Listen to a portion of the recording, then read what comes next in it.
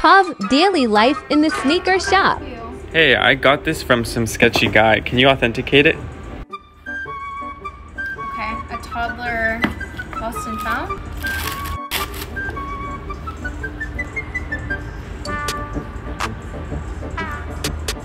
You want me to? Dante do it shit like. Did you notice anything off about it? Yeah, my friend has the exact same pair, and his doesn't have the cracking right there. It just didn't look right to me. Actually, I think you guys have it in store. It was this one right here. See how different it is? They're they're real.